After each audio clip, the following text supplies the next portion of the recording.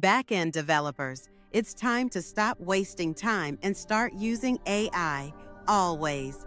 GitHub Copilot is a game changer, predicting and completing entire functions with context awareness, so you can write code faster. Then there's Tabnine, offering real-time code suggestions that make your IDE feel alive. Mutable AI takes it a step further, transforming your rough code into clean, production-ready logic with autodocs and refactoring. Kite is another must-have, providing AI autocomplete tailored for Python, seamlessly integrating into your workflow. And don't forget AskCodi, which generates boilerplate code, SQL queries, and even tests from simple natural language prompts. These tools are essential for coding smarter, faster, and cleaner. Always code with AI in your toolkit.